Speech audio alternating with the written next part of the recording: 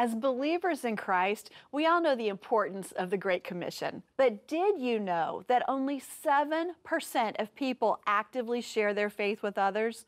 Unfortunately, that's the reality we live in, but we can change it.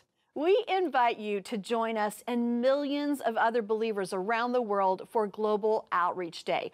The mission of Global Outreach Day is simple share the gospel with at least one person on that special day.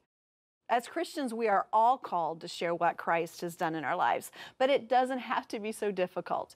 The only thing that God really requires is a willing and obedient heart. You don't have to be Billy Graham or Joyce Meyer, you just have to be you. So pray about who God wants you to talk to. Make a plan and follow through. One day, one person, one message.